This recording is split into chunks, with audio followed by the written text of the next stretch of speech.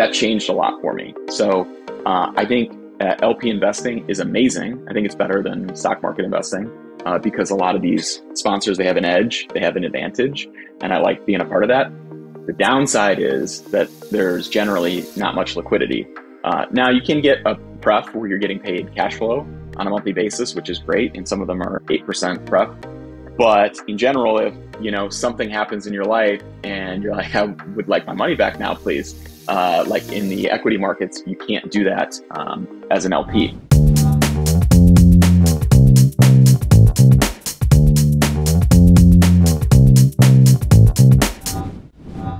All right. Welcome to another episode of the Legacy Wealth Podcast, where we help accredited business owners become educated and get access to private investments. We do this by providing insight and access to successful fund managers and investors across multiple asset classes.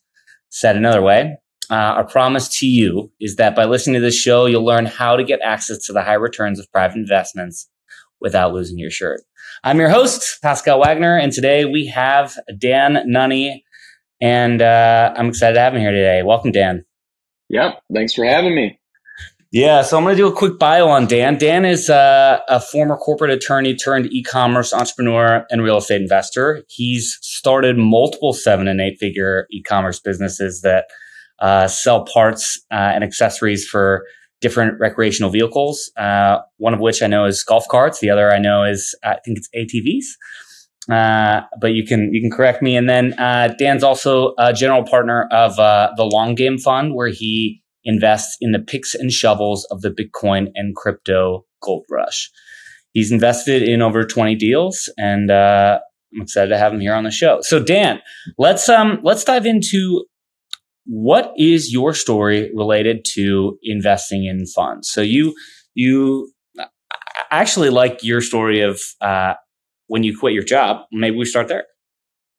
Yeah, yeah, sure. Um, yeah, I guess I'll give you a little bit of background. I'm uh, I'm 38. I'm from Cleveland, Ohio. Uh, I'm married. I've got three kids, so that keeps me super busy. Um, you know, when I grew up, I sort of always had the dream to be an entrepreneur. I always wanted to own my own business. Uh, I think it's because I didn't like being told what to do. I wanted to do whatever I wanted. And, um, you know, I went to business school. I went to Indiana University. And when I graduated, I started my first business. And it was an epic failure. Uh, I spent a year on it, uh, no success, no traction. I learned a lot. And then I sort of had this um, like winding path in my 20s where I went from, you know, starting a business to working at a hedge fund, going to law school, uh, working as a corporate attorney and just kind of uh, you know trying to figure out what I wanted. Um, so my I guess my first real real job was as a corporate attorney. I worked in Chicago at a big firm, and um, you know it was it was a grind. Like it was. Uh, 2200 hours a year for attorneys is a lot. It's, it's hard to describe that, but that's like, you know, 60 to 80 hours a week, nonstop. Um, I was sort of that associate uh, for anybody that has bought or sold a business. I worked in M and A, and so I was the associate that was putting together the deal in the late nights. Um, you know, finding all the signature pages, putting it all together, and um, and that was good learning. I, I learned a whole lot, but you know, I worked next to this guy, and this is a story I always tell that um, he was kind of the worst attorney in the entire office of like 700 attorneys, and I was right next to him. And anytime somebody would go into their office, yeah, he'd start screaming and people would sort of shudder to get away from him. And what do they say? Like you're you're like the five people that you hang out with the most. And so I was worried I was going to turn into that guy. And so um, so I sort of had thoughts of um, you know trying again at uh, starting a business. And so I basically quit. I, I had a really great paying job. It was a you know six figure job, and um, I was sort of set. I just had my first child, and I decided, you know, if I'm going to make the attempt at it again, I've got to do it now. And so, what I always tell people is that uh, right after I quit, I I uh, I printed out a picture of this guy, and I framed it, and I put it in my closet. and every single morning, I would look at it, and you know, just like I am never going back there. I'm never going back. And so I still have that photo. And uh, it's funny because uh, it's in my office and, and my kids draw mustaches all over this guy's face. He has no idea. But um, but it, it, was good motivation to uh, to get me going. So that's that's kind of that's kind of the quitting my job story. Yeah. So so you quit your job. You uh, then you know were basically said I'm going to make this business work, uh, and you started this e-commerce business, and that then grew. Uh, obviously now to the point when you've been able to bring in excess cash flow to start investing. So now, uh, kind of walk walk us through that point to why funds. How did you get into funds? Yeah, uh, you know, it took a few years to really get uh, all the systems and processes in place in my business to the point where I didn't have to spend every single minute in it. Um, you know, so I got away from the, uh, you know, exchanging time for money, which is what I was doing as an attorney. Uh, I, I, sort, sort of was doing that at the beginning of the business, but now I don't have to do that.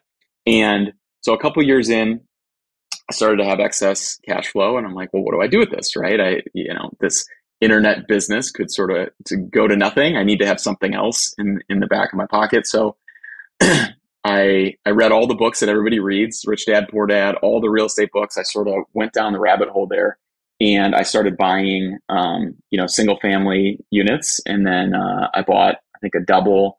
So I had I had five or six rental properties in the Cleveland area. And even though I had a property manager, as you know, it's it's not exactly passive, right? I have to get every call about uh, the toilet overflowed and the tenant's pissed and this tenant's not paying and they're leaving and they damaged it and all that stuff. And what do you want to do? So, do you want to cover this expense? Do you? Yeah. Right. right. And, then, and then the property man- manager, oh, he's got his, uh, you know, his cousin that's doing the work. And, you know, it's like, it's just a headache. So, uh, for me, it, it it, it was good. I, I, ended up doing okay on that. I ended up selling them all um, recently, but I sort of thought, well, this it's got to be easier than this. And and I think listening to some of the real estate podcasts, a bunch of guys were talking about syndication. This was in 2018, 2019, and I thought, well, this is a lot easier. I can get into a deal. I can own a piece of an apartment building, and I don't have to do anything. I just have to cut a check. So that was that was kind of the idea is that I don't want to manage these rentals anymore. I want to just get into a fund, let the let the pros do it and get my return, which is probably going to be better than doing it myself, uh, which was the case. Yeah, so so started getting into to learning about all these different asset classes. Why funds over the equities market, stocks, uh, you know, out of all the different instruments and, and things that you could invest into, why that? Yeah, I, you know, I had and, looked at that in the and, past. And actually, let me, uh, before I cut you off, you know, uh, what, uh, what's the makeup of that portfolio? Like, is it mostly in private investments or? Yeah, I would say, uh, majority in private investments. Um, I don't know. I just always, the stock market just felt so random and uh, didn't have as much control. Uh, I like control as an entrepreneur, and I just uh, I sort of like also like the idea, especially with the real estate deals, where uh, they would pass along some of the depreciation as well. So that was sort of in the back of my mind. Um, you know, at one point I was a uh, a real estate professional for a year or two. So that was something I was really thinking about was getting into these funds and then I'm able to, you know, bring back a lot of the passive losses into active losses. So, um, so yeah, I mean, I, I, I first started out, I think in 2018 and I, I honestly, I picked the, I picked, I started listening to Grant Cardone, like a lot of people. He was my first LP investment, a very small check, right? Like, um, you know, looking at it now, it's like, yeah, I would, you know, I didn't do it again after that, right? Yeah. But, but like to, to, to his credit though, he's paid every single month for the last five years and all is good, right? It hasn't, it's been a, it's been a good deal. But, um, but that was the first one I got into a multifamily, um, syndication. I think it was a fund where there were multiple assets. So I thought that was great. Hey, I get to own a, a very small sliver of a couple of these, you know, pristine assets. So, uh, that, that was the first one.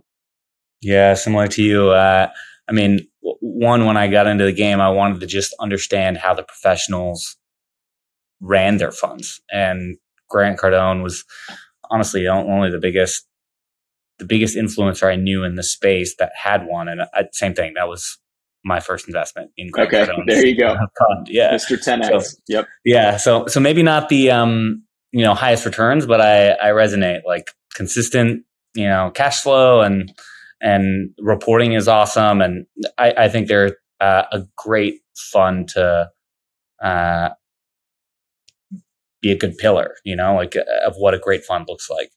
Uh, okay, so so that first fund uh, was in multifamily with Grant Cardone.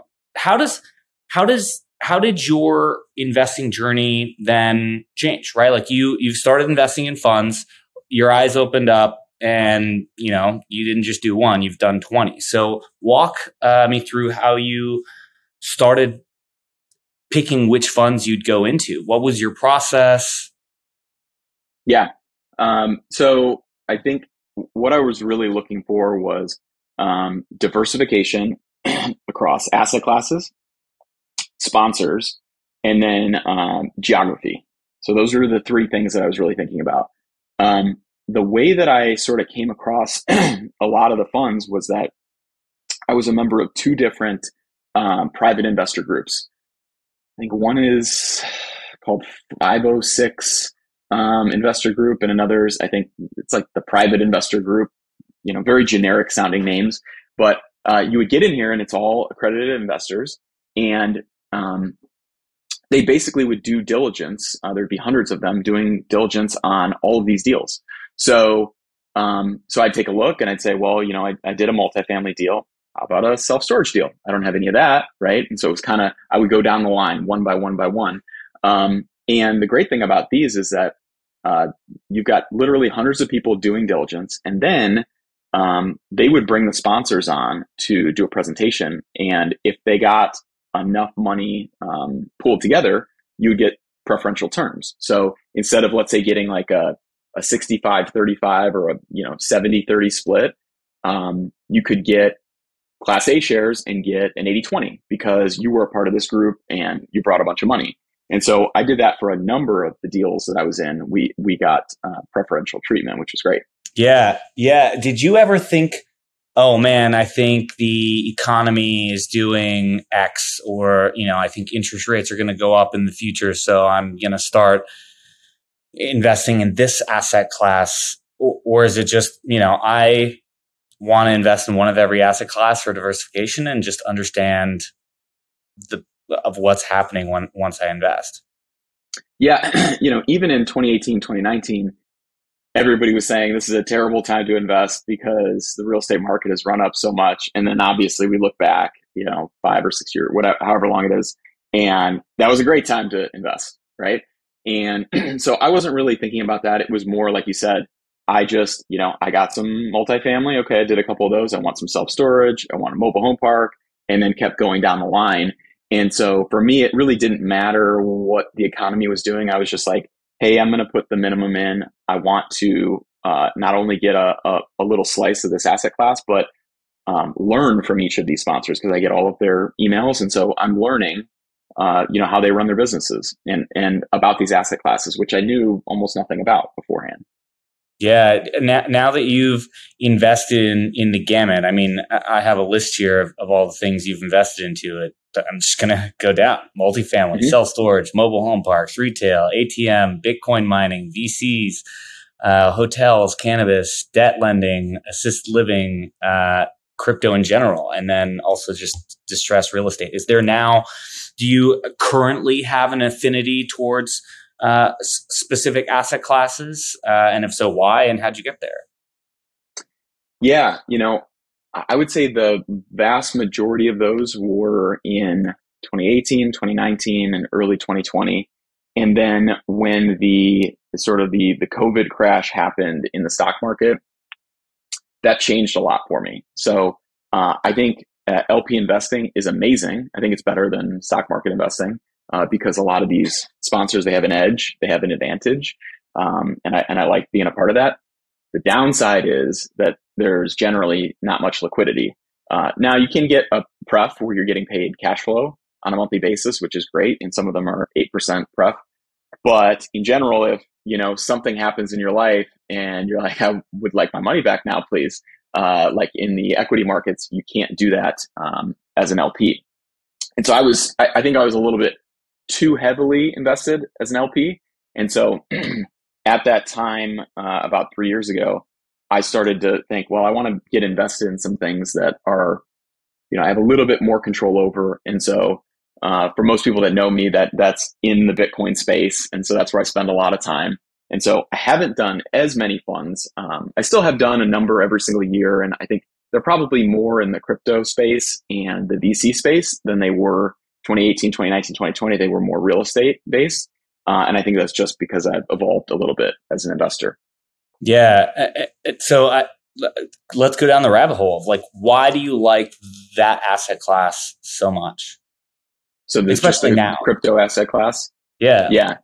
Um, it's just, um, you know, it's such, it's still such a small asset class at like a trillion dollars. And there's just so much innovation happening there. It's really, really exciting. It's, there's constantly uh, new things happening. And I know a lot of people are sort of bearish on the space, but um, you know, we we sort of look at it. It, it seems to operate on a four year cycle. At least it has uh, two or three times before. And so um, I sort of believe that it's kind of like the next wave of the internet, right? It's just an iteration on the internet. And at first, there was sort of all these crashes that happened in the dot com bubble, right? And there was pet doc, pets.com and all this stuff that didn't work out. But then there were all these really premier businesses like, you know, Amazon that made it through and then Facebook that started after it. And it's at Google that started before. And so I sort of think that um, that wave is going to happen again in the crypto space. I just think that eventually there there will not be crypto businesses. It'll just be it'll just be businesses. All businesses use crypto in some way, um, and I think mostly it's probably Bitcoin. Uh, but there are interesting things in the in the crypto space as well. So that's that's kind of my take. It it it is against what I was doing years ago, which is so much more cash flow based. But I've got a good mix between cash flow investments and then more VC or longer term investments that hopefully I get my money back on. We'll see. Yeah. So before you mentioned there were three things that you look for when you were diversifying. It was like sponsors, asset classes, and um, geography was one. And geographies. Uh, does does investment objective fit in there? Meaning cash flow or equity growth? Like how do you think about how much cash flow that you want? Are you trying to meet your minimum expenses? Are you, you know, is it like, oh, crypto's down right now, so you know, forget the cash flow piece. I want to just keep investing more in equities. You know, I don't know that that's that's not. It's probably the way that you should look at it. Um, I think I just look at I just look at overall overall portfolio um, and what do I have? So, like I said, I want a little bit of this, a little bit of this, a little bit of this, and that includes, you know, maybe half of it is cash flowing, the other half is not. So, um, yeah, I think all of it is for net worth optimization. Uh, is kind of where I fall in that spectrum. Uh, but yeah, it's certainly good to have some that give you some money back as opposed to waiting ten years for something. Yeah, totally. Talk to me a little bit more about uh, about the investment strategy that you're pursuing now with the long game fund. Yeah, so this is a you know I had invested in twenty deals um, as an LP. And so I got to learn a little bit about how these funds operate. And I came across, I met two guys that were both in this group together called GoBundance. And it's a, it's a great, you know, men's group, networking group. And uh, these two guys basically had been in the Bitcoin space for about 10 years. They're owners of the Bitcoin magazine, the Bitcoin conference. And in a, in a group of all real estate investors, uh, you know, we we sort of bond because we're the only guys that are interested in Bitcoin. Uh, you know, real real estate investors are like, oh, it doesn't have a door, so it's got no value, um, right? And um, so our kind of thesis is that this you know cyclical nature of Bitcoin and crypto is going to play out again. Um, you know, it, it, it always it's it's a boom or bust scenario, right? You're either on top of the world in the crypto space, or it's like it's uh, Goblin Town. And right now it's Goblin Town, right? It's been in a bear market for a very long time. We are starting to see some things move a little bit. And, you know, our thesis is that it's going to play out again in the next couple of years. And it all surrounds around the, the Bitcoin halving. So in Bitcoin, every four years, the, uh, the, the actual supply of Bitcoin gets cut in half. So if right now, every, um, every day there's whatever, I think 900 Bitcoin that are mine that are brand new, like fresh Bitcoin. Think of it as like fresh gold that comes out of the ground. Uh, in a year from now, it'll only be 450 new fresh Bitcoin that come out of the ground. And so that's usually a, a crazy bullish catalyst for the next bull run. And a lot of these other asset classes uh, inside of uh, crypto all are sort of beta on Bitcoin, and then they run up significantly, sometimes generally even more than Bitcoin. And so what we want to do in our fund is we sort of want to spread it out across the whole space. So my partners, um, they've been in the game for a very long time, so they have very good deal flow with a lot of these managers. They know them all. Um, and so our idea is we want to get a little bit of, you know, let's say um, discounted Bitcoin. We want to get a little bit of some VC in the um, the Bitcoin application layer. We want to get a little bit of, let's say, DeFi. Um, and we think that putting that portfolio together gives you a, a great opportunity to ride the next bull uh, bull run without having the crash. And so I think the, the big, most important thing for us is when we invest in things, having liquidity so that we've heard of a lot of funds where oh man, they did really great at Multicoin is one. They did they did hundred x right while they were while the, while the last bull run was going, and then guess what? They came all the way back down, and investors didn't get out in many cases. Though if if you look at, it, I think they're still doing pretty well. But um, the biggest thing for us is having liquidity at the time where you know, hey, the market's sort of getting oversold. We want to pull back a little bit and uh, capture some wins for our investors. So that's that's the idea behind the fund. Yeah, as you've as you've started now going down this path of graduating from first being an entrepreneur, then investing in in other people's deals, uh, and then now starting to to run your own fund. What do you think are takeaways or learnings that you've had along the way? Because I'm imagining once you come to the GP side of the table, other things start to click. Oh, I understand why these fees are collected. Oh, I, you know, uh, how do you? What are those takeaways? Yeah, I will say I, you know, especially in the VC space, I didn't understand any of the anything in terms of fees when I was investing. Um, now I do, and I would say some of the some of the big learnings is uh, would be, you know, just how to communicate with investors. I think that is just so important. It's just like if you're a doctor or a dentist, you know, half of it is the actual work product. The other half is the bedside manner and how the patient feels, right? Whether you're going to get sued or not. Um, and so I think the biggest thing is, um, you know, often uh, being communicative with investors as much as possible. So providing, you know, um, quarterly or even monthly updates, um, just letting them know, hey, listen, this is this is exactly what we're doing. This is what we're thinking, um, and making sure that they feel comfortable. Not over promising at all, right? Coming out and saying, "Hey, listen, this is risky. Um, you can lose everything." Um, you know, we uh, we're very bullish on this play on this in this space, but um, just making sure to set the table for investors. So I would say um, understanding the fees is one, and then how to communicate with investors because I've been on the receiving side in uh, 20 different funds.